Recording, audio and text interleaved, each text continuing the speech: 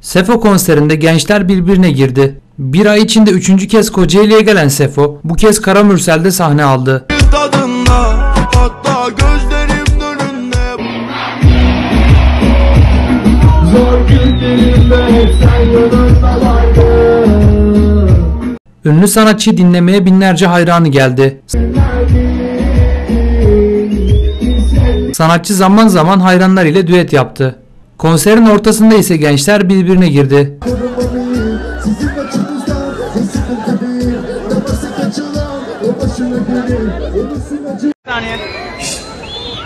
Gençler bir kendinize gelin. Buraya eğlenmeye geldik. Kavga etmeye hiç gerek yok. Az önce en güzel eğlenen taraf o taraftı. Şimdi orada kavga çıkıyor.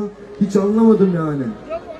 Hiç gerek yok. Böyle şeylere hiç gerek yok. Burada eğleneceğiz, evimize döneceğiz. Anladınız mı?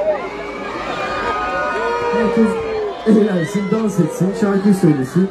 Sonra kavgaya gerek yok.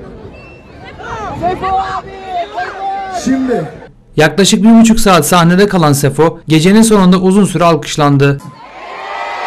Şimdi bu kıymetli geceyi bize bizi davet eden e, sevgili Karamürsel Belediye Başkanı İsmail Yıldırım'ı sahneye davet ediyorum. Kıymetli alkışlarınızla.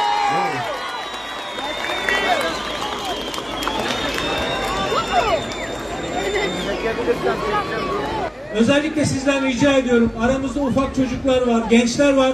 Bu akşam keyfimizi kaçırmayalım. Güzelce eğlenelim. Çünkü eğitim ve öğretim yılımız yeniden başlayacak. Buradaki genç kardeşlerimize yeni eğitim öğretim yıllarında hepsine başarılar diliyorum. Yeni üniversiteye başlayan arkadaşlarımıza yeni hayatlarında başarılar diliyorum. Sizleri çok seviyorum. Eğlenmeye devam.